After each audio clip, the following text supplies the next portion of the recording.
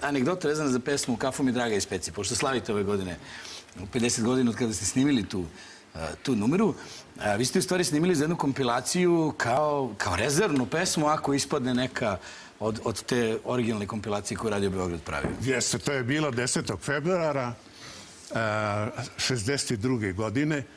Ja sam bio u Bogatiću i pevao sam do ujutru do šest. Kijamet je bio kao i ove zime.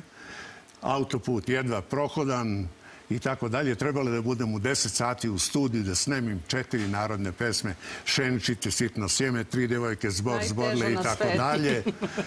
E, Međutim, mjeseci po dana pre toga mene Nada Mamula za novogodišnji jedan naš nastup naučila pesmu Kafu mi draga iz peci.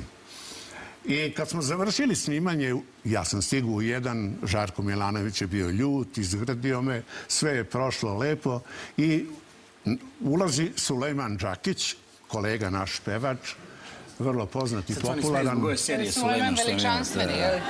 Da, da. Eto, s kim ja radim, vidite. Znači, ulazi Sujo, je li? Sulja, Uđe Suljo i kaže, jel balo, što ti ne bi otpjevao onu kafu mi draga iz peci? Znaš ti tu pjesmu? Rekao, znam. Pa što ne bi otpjevao? Kaže, mnogo je lijepa. Hajde, rekao, u redu, samo ako se Žarko slaže.